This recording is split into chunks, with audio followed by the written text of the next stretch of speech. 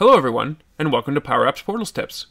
My name is Nicholas Hayduke, and this is tip number 74 Web Page Access Control Rule Scope.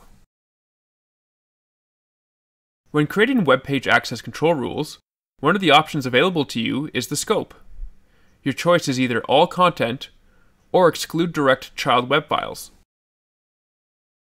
The all content option means that permissions are required for the page defined in the web page access control rule its descendant child pages, as well as its direct child web files.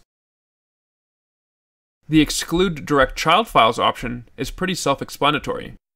With this option, direct child files of the page remain accessible even if users don't have any permissions, even while the page itself is not accessible.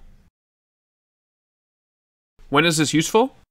If you're trying to create a portal that only serves authenticated users, you might think about adding a restrict read web page access control rule to your homepage.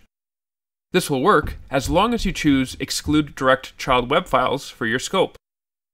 This is because there are certain child files of the homepage, like some CSS styles, that are necessary to render the sign in page.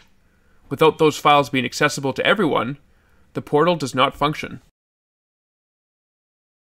Thanks for watching, and I hope you found the Power Apps Portals tip number 74 on Web Page Access Control Rule Scope useful.